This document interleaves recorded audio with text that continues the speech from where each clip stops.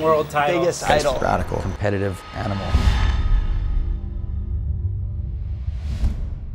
You know, under it, my brother really respected Kelly because how damn good he is and how, you know, how good of a competitor he is. And he knew that, but my brother is never going to tell anyone how he felt about Kelly.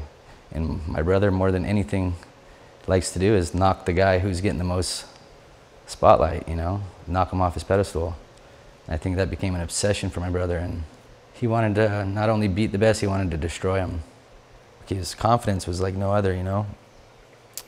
I love seeing my brother like that, in shape, confident, focused, not partying, not, you know, just he was a competitive animal, athlete, you know, and he and he carried himself like that.